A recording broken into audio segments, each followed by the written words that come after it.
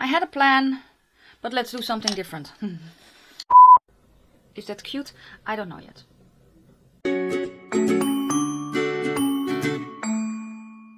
Well, hello my lovely nestlings and welcome to my channel. If you are new, welcome. My name is Nikki. I'm 44 from the Netherlands, hence the accent. And today I am presenting to you three looks and my thoughts on the Lethal Cosmetics After Dark collection or palette because I only have the palette.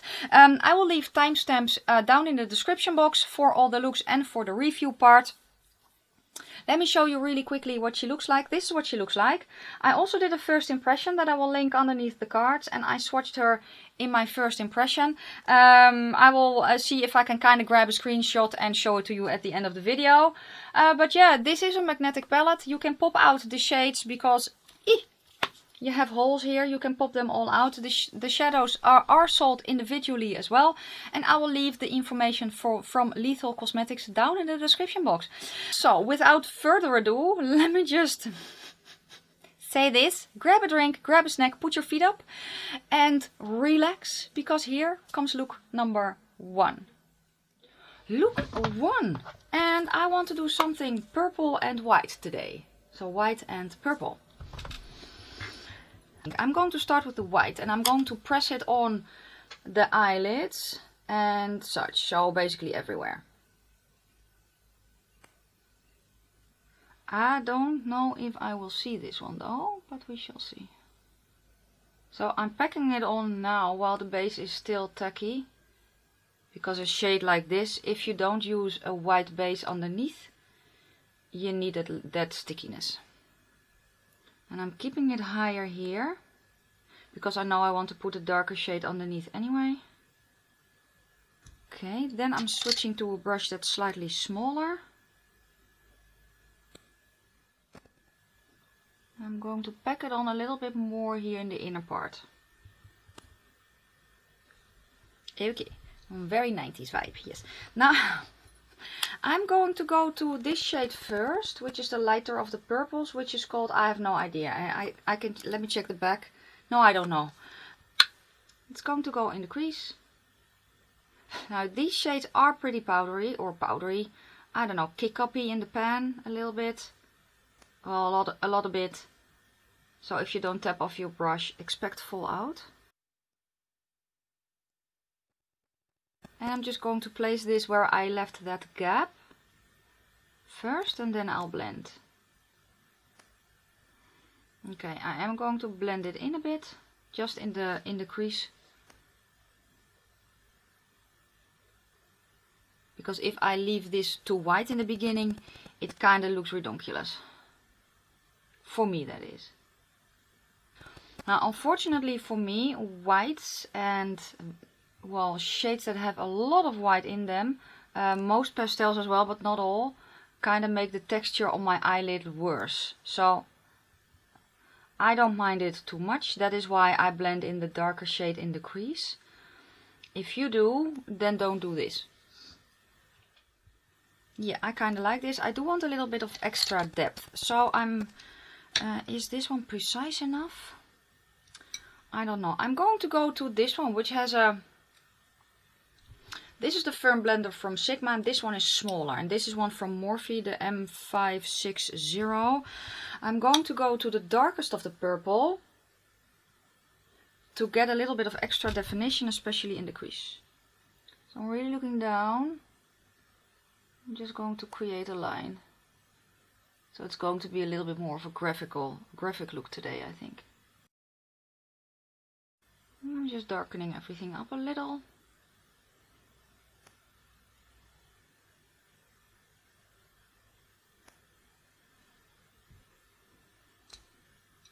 Okay, then I'm going to go back to the brush that I used for the purple.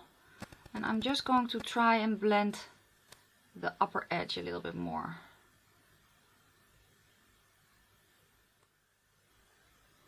Okay, then I'm going to go back to that darker purple and that smaller brush.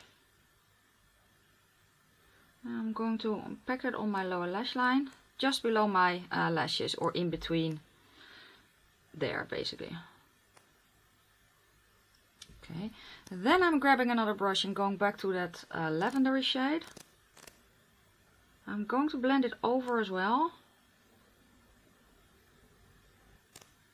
Then I'm taking a tiny bit of the white and blend that uh, in the beginning and then pull it back underneath. So that it flows a tiny bit better. How's this looking? I think this is fun. Not sure, but I think it is. Now it's time. Now it's time for the shimmer, but first I need a little bit of extra depth on the eyelid in the outer part. I just have that darker purple now.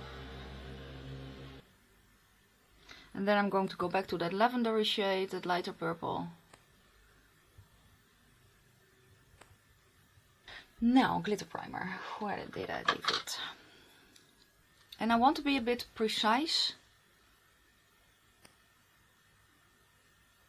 So first I'm tapping it on my eye. And then I'm going to follow the line that I drew.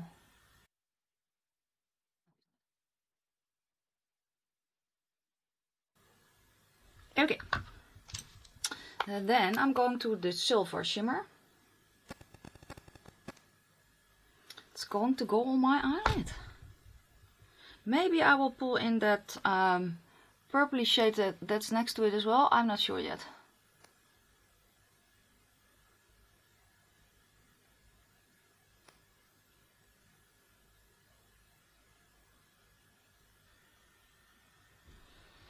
Cute. Okay, I also want that underneath my eye. So let me grab just a tiny bit of glitter primer, put it there underneath my eye and then I will um, put that white shimmer on top. While that gets sticky, I'm grabbing a white eye pencil.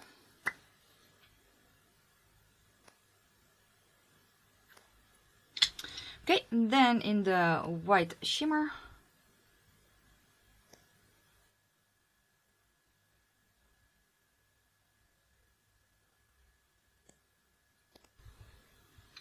cute. Uh, do I want the, this one? I can, just a tiny bit on the outside. So I'm grabbing uh, this shimmer. That was weird. No glitter primer, just a tiny bit on the outside here on the border. Because I like a shimmery goodness there as well. I'm just tapping it on. Nothing too crazy. Go. This is the eye look so far. Let me put on liner and mascara and I will be right back. Everything is on. Here is the completed look. I like it. For once it was like I had in mind. So that is always good, isn't it? Uh, the falsies are the London style that I get at Primark and the lippy is from MUA. It's a velvet lip lacquer in the color Poise and I feel really cute today. So this is going to be my final form. I'm going to be grocery shopping like this and let me know down below what you think of this look. And let's get ready for look number two. Look number two. And I was, I had a plan, but let's do something different. um,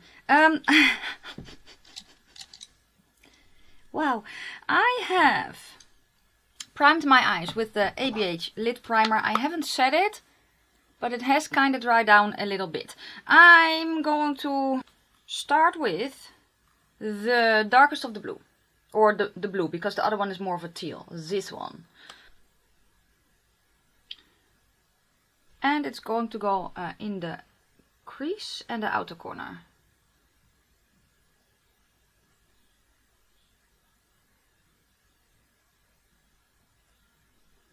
I'm going to blend it up a little.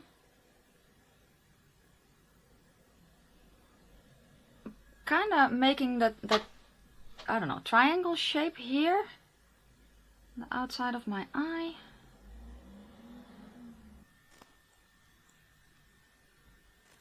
Okay. What was my plan then? The teal. That was my plan. But do I bring the teal in all the way or do I put in some green as well? Yeah, so let's go to the teal. With a smaller brush, And it's going to go from the inside until at least at least halfway because I have not really decided what I want to do in the center just yet.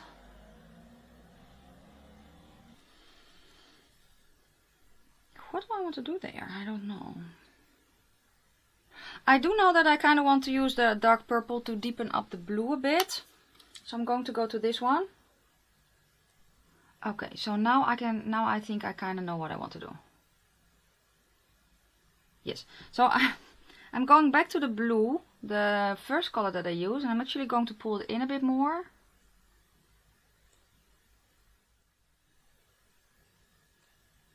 And then go back to the teal so they can meet up a bit better.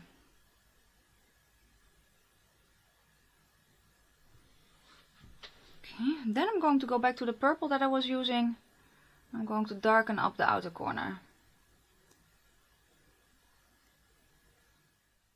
I'm going to switch brushes, a tiny, tiny bit of that purple, and I'm just going to place it lower to use my lid as a guide. It doesn't matter, I'm going to put a shimmer on top of there anyway.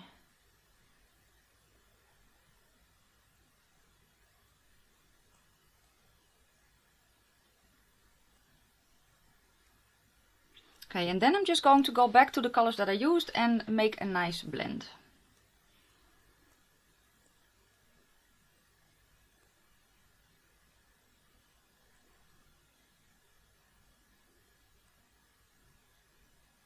So I started with the teal, blended that in. Now I'm working with the blue to blend that in. Okay, uh, and initially I kind of wanted to put the darker shimmer on my lid, but actually I think I'm not going to. Oh, that one could be cute. I kind of want... Uh, let's go to the teal. The matte teal. And let's put that on the lid first. Because I... I don't really want to lose what I have done. If that makes sense. Okay, now I'm going to really blend the crease. Um, take a different brush and a tiny bit of that purple because again my plan has changed. What else is new?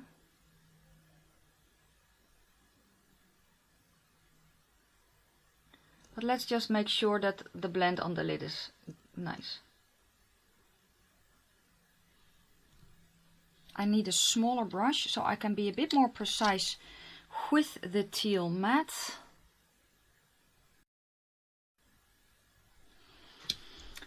Okay. And then back to the blue. And then back to the purple again to make a gradient on my eye. So I do want a little bit of shimmers, I think, but not uh, very opaque. So I think I'm going to go into this purple with a very fluffy brush. Probably going to create fallout, so I'm going to really tilt my hand forward and I'm going to dust the purple shimmer over. Let's see what happens.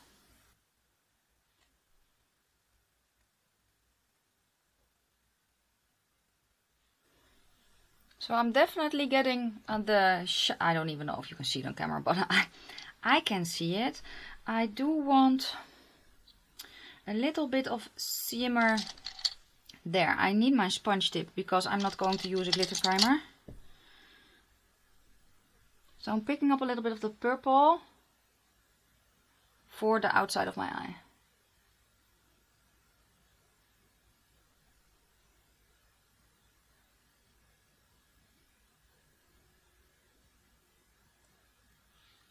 Cool, and now because I've put down those matte shades and used the shimmer a bit sheerer, you kind of get a nice effect. So that is very cool.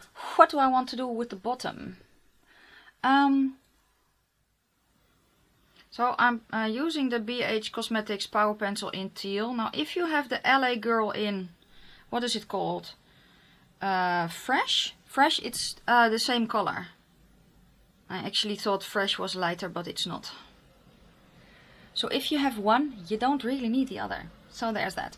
What, um, I think I want a little bit of darker goodness going on there. So I kind of need to recreate what I have here, there. So I'm going to start with the blue and then I'm going to work the purple on top.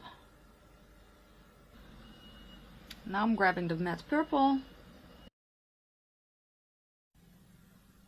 And now I'm cleaning the brush that I just used. I'm going into the teal. Um, I think I'm going to go into the shimmer white and put that in the inner corner.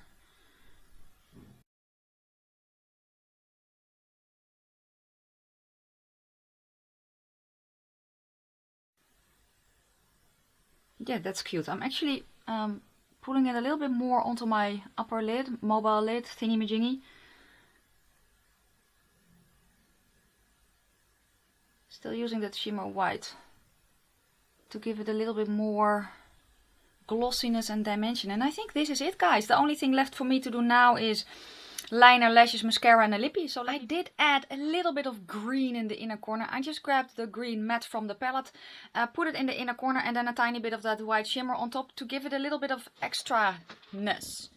Uh, and I paired it with a lip combination Instacare lipstick from Essence in the color Sandy Sunrise, which is a little bit of an orangier one but then I was like it's too light so I put Punix turned up in the color Dirty Top on top which is a dark brown and then you can kind of get this. Falsies are from AliExpress. I thought let's use these again and they will be linked down below or at least where I bought these and they are in the style L12. So yeah, foaming and I think they're cute. So that is it for me for look number two. Let me know down below what you think of it and let's get ready for look number three. Okay, the last look of the video and I have been swatching and I have been mm, forming an idea. So I'm going to start with the lash line. I'm going to grab a green eye pencil. This is from LA Girl in the color Gotcha. So we are going to start with that today. And I'm also going to bring it down underneath my lashes to act as a base for the shadow. Okay, then I'm grabbing a small brush and the green that is in here. And that's going to go on top. I'm just pressing it on top of the eye pencil. And smudging it a bit. Okay, then I'm grabbing a brush. The I'm, yeah, let's get you. It does not really matter. I'm going to go into the green again and I'm going to smudge it a little bit lower. So that is nice and blown out. And that my creasing under eyes are not as noticeable today. Great way to camouflage those. Okay, um, I'm going to leave it there for now. The color I'm going to grab next is going to be the orange. It's going to be in the inner eye part and then the pink is going to go uh, center out. And then from there I will see. So let me grab uh, one of my Sigma brushes. I'm going to start with the orange and I want to kind of pack it on in the inner eye part area. Okay, so the trouble is because I'm not um, tapping off my brush, I create fallout. But, oh, it's gone again, so that's good.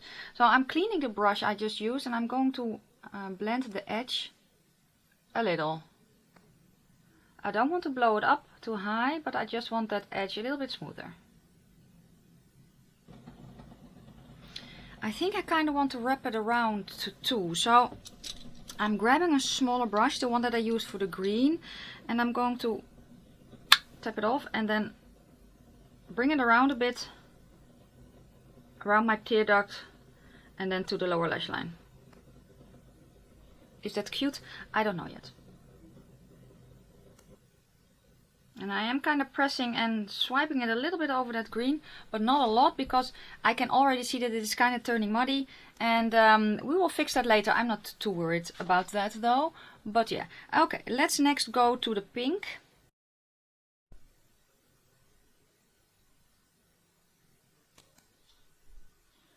I'm going to start in the middle, I think.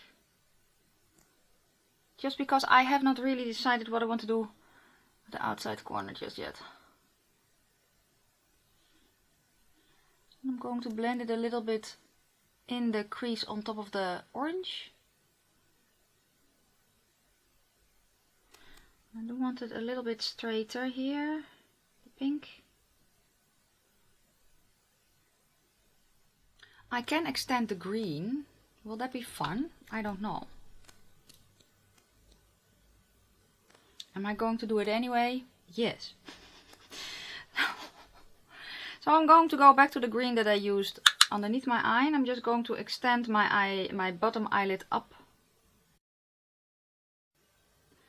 I don't think that they will mix uh, too much, but I'm going to pull them on top of each other anyway.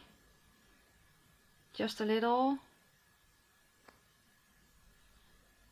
Do I? I don't like that though. Let's. but we're going to go for it because yeah, it's already there, isn't it?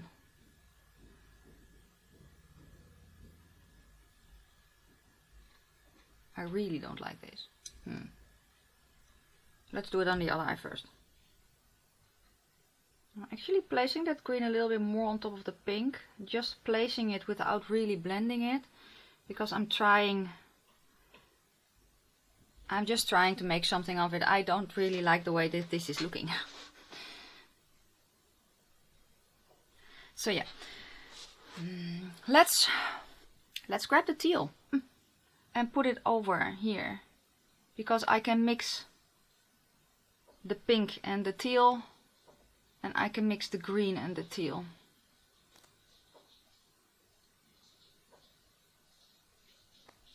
I think that's that's getting a bit better so I'm going to make I don't know kind of a rainbowy peacocky thingy Genie eye.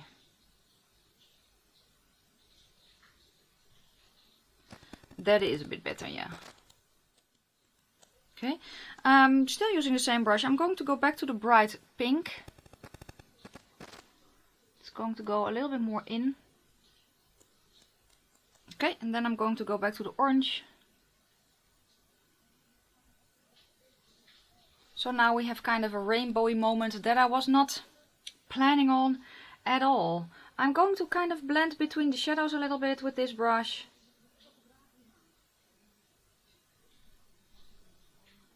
if I need a little bit more uh, shadow, I will grab it and just kind of swipe it over. Yeah, now I think it's a bit better. So that is good. I'm going to grab my NYX Glitter Primer because I kind of wanted... There was one shimmer that I haven't really used here. And I'm going to grab that one now. Will it look good? I have no idea. It should. but I don't know. I'm just going to grab the primer. I am going to carve out uh, basically a half cut crease idea. I want to be a little precise today. Okay, the shimmer I'm going to use is this one. I don't know the name, but it is a gold with, no, it's a pink with gold and a little bit of a hint of a green in it.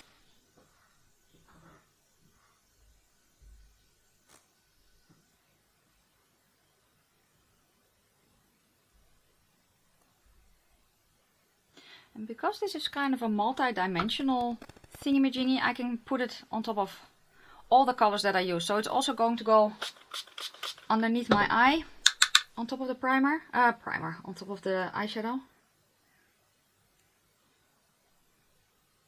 I think this is almost it because I kind of want that white shimmer or that silver shimmer in the inner corner to brighten everything up a little bit more. I am going to put on uh, liner and mascara. I really like how the look turned out and I'm actually happy that I kind of made the boo-boo with pulling up the green and then trying to mix it with the pink. Making a green wing-a-majing thingamajingy. I don't know, that was just not my vibe today at all. But I'm very happy that I made that boo-boo and that this came out of it because I do really like how it looks. The falsies I have on are from Primark as they usually are, but these are in the style Kylie, which are a little bit more spiky.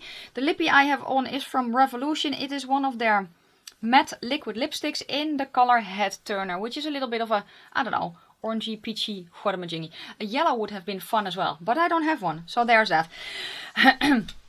Let me kind of give you my thoughts on the palette. I swatched her in my first impression, so I will link that video underneath the cards as well. Um, this is my very very first time trying Lethal Cosmetics, so I have no idea how this formula compares to the other. I also have not watched anyone else's video on this palette because because it is so new for me, I wanted to formulate my own thoughts without having them having them be clouded by others, you know. So I have seen some uh, video titles floating by. I will leave some channels down in the description box. I know my friend Annette received this collection in PR and reviewed it and did a bunch of looks. I will link her channel down below. Um, uh, Batty Bean did videos on it. Theresa is Dead has a review on it. I will leave their channels down below. Go check them out and hear what they have to say.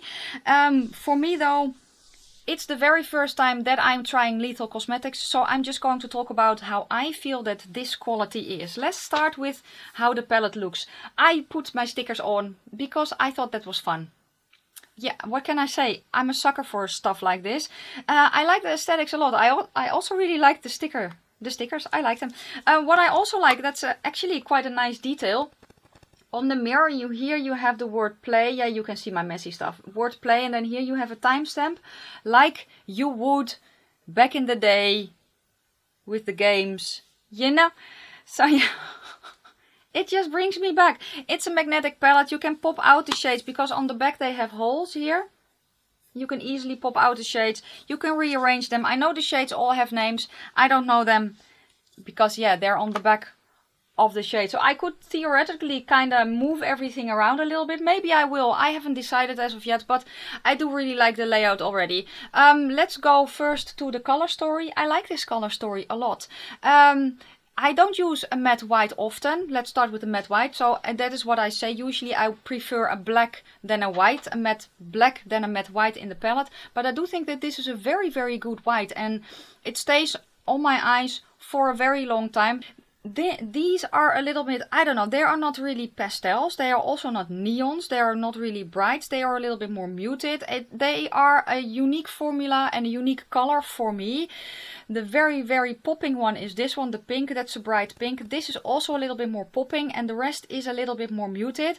This is almost a pastel. This is also almost a pastel. And this one is more of a, a reddish orange almost. And then this is more of a I don't even know, a, a pastel mossy green. I don't know, but the colors are very, very unique. There are a few colors that you cannot mix, or of course you can mix, but they kind of turn muddy, and that is basically these. So uh, the green into the orange turns muddy, and the green into the pink turns muddy. For the rest, uh, these two are okay uh, to mix, and they shouldn't really, but they are uh, almost a little bit more dusty. Uh, because they are a little bit more muted, you can get away with it better. Um, I like the fact that I can use this shade to deepen up everything. I use it in the first impression to deepen up the orange. I can even use it to deepen up the green. It's mm, yeah, you can. It could turn a tiny bit muddy, but actually it is not that bad. And if you want to be on the very safe side, pull in a little bit more of this blue first and then deepen it up. Or a little bit of the teal and then deepen it up. Because that is that is the fun thing. So there are not really shades in here except the green in the in these two uh, you can kind of mix everything together a bit. The mattes work beautifully as well. You can layer them. I layered, I don't know how many I layered, three I think. I don't usually layer a lot of shadows on top of each other anyway. They blend out very, very nicely. You can see it here. I did not blend a lot, but they do kind of blend out effortlessly for me. But they don't really blend away very, very quickly.